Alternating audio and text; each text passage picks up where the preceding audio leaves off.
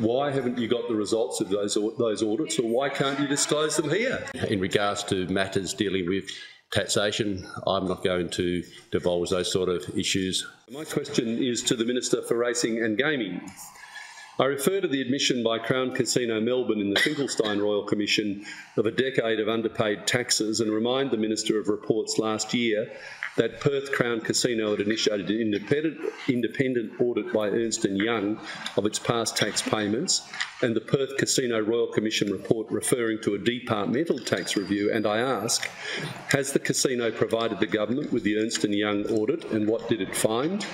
Has the government received a departmental audit of Perth Crown Casino's past tax payments? And if not, why not? If an audit was undertaken by the government, what were the findings? The Minister for Racing and Gaming. Uh, member, in regards to your questions in, in, respect to the tax audit and issues regarding, uh, in regards to Crown Perth, as you know, there was a Royal Commission, a comprehensive Royal Commission that came up with 59 recommendations.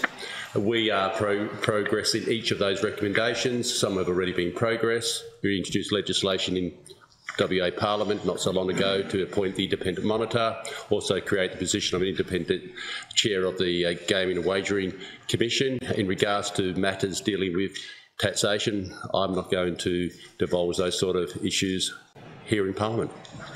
Supplementary question. Supplementary. Minister, considerable time has elapsed since those audits were disclosed. Why haven't you got the results of those those audits, or why can't you disclose them here? The Minister. Um, I didn't say anything about what we knew and didn't know. I said I'm not going to be divulging them in the Parliament at this stage. They've made it public in the eastern states.